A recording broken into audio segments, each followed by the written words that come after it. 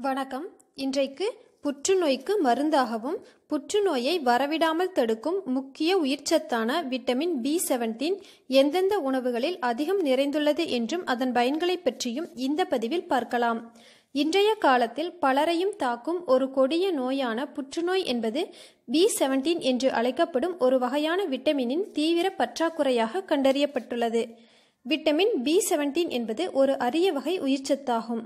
Vitamin B seventeen அதிகம் நிறைந்த உணவுகளை நாம் அன்றாடம் எடுத்துக்கொள்ளும் பொழுது உடலில் புற்றுநோயை உருவாக்கும் செல்களை அழித்து வெளியேற்றுவதுடன் புற்றுநோய் வாழ்நாள் முழுவதும் வராமல் தடுக்கிறது.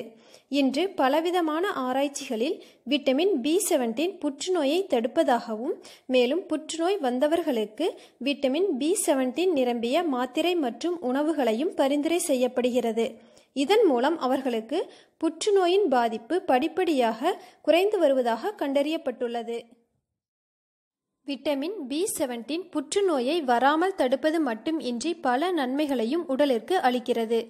விட்டமின் பி செவன்டீன் நிறைந்த உணவுகளை உட்கொண்டு வரும்பொழுது உயர் இரத்த அழுத்தத்தை குறைத்து கட்டுப்பாட்டிற்குள் வைக்க உதவுகிறது.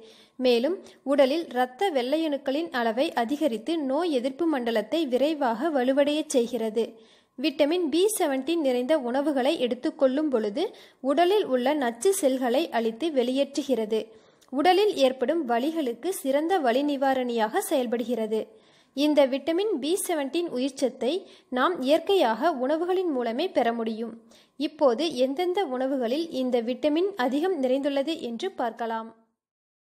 விட்டமின் பி செவன்டீன் அதிகம் நிறைந்த உணவுகள்.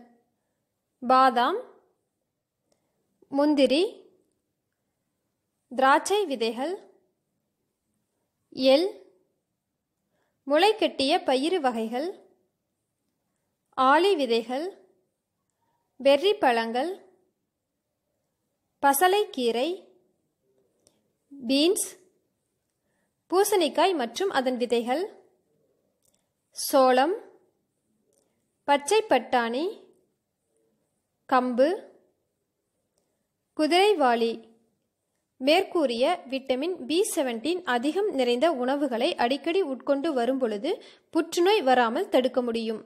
இந்த பதிவு உங்களுக்கு பிடிச்சிருந்துச்சுன்னா லைக் பண்ணுங்க அனைவருக்கும் ஷேர் பண்ணுங்க.